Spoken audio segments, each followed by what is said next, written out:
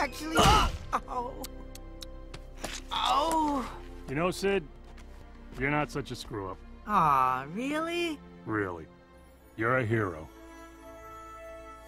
You too, Granny. Oh. Thanks, lady. So, still want me on your scurvy crew? You bet. Welcome to our herd. Hey, you.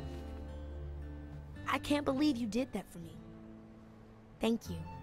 Well, someone once told me no matter what, you never leave a friend behind. All this sweetness is gonna rot my teeth. If I had any.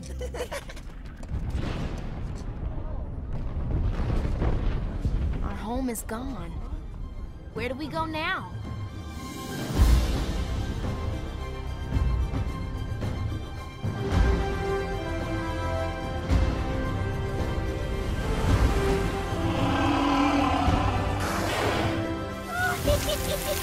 Aw,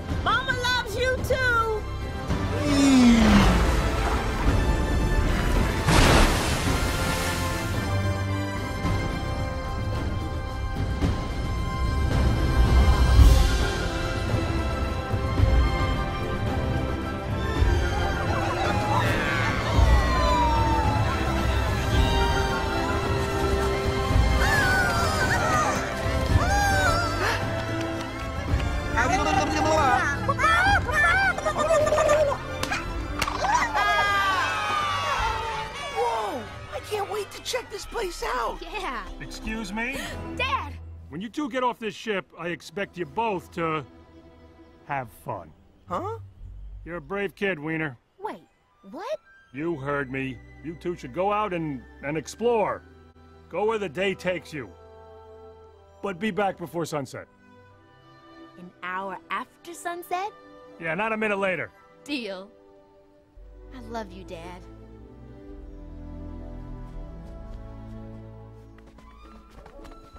Hey, okay if we hang with you guys? Sure. I always liked him. Louis the hero. Brave Alicious. Ah, she's not my little girl anymore. And you're both gonna be just fine. I know. You know, Sydney, you've got yourself a nice family here. A real family. Yeah, I'm pretty lucky.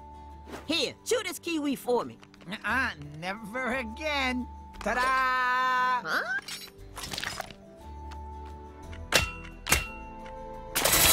Ah! Hey, sailor. Whoa.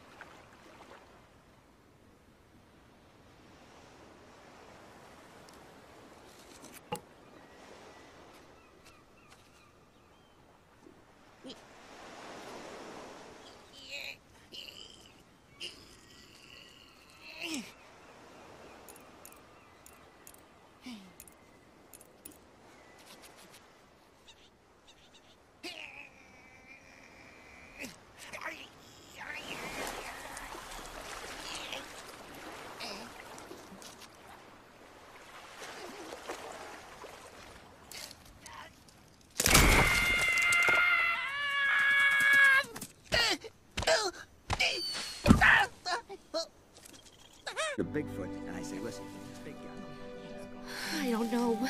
I don't know. What am I gonna do? Sweetie, listen to me. This is normal, okay? Everyone gets nervous. What's going on? What happened? It's just. I can't go. How can I go? I don't want to leave you guys. Hey, Fuzzball. Remember the first time that we played hockey? You were so afraid to get on the ice because it was slippery? Remember how I held you up while you started to skate? And when I knew you were ready, I let you go. Aw, Dad.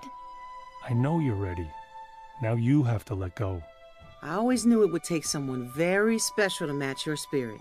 And you found him, just like I did.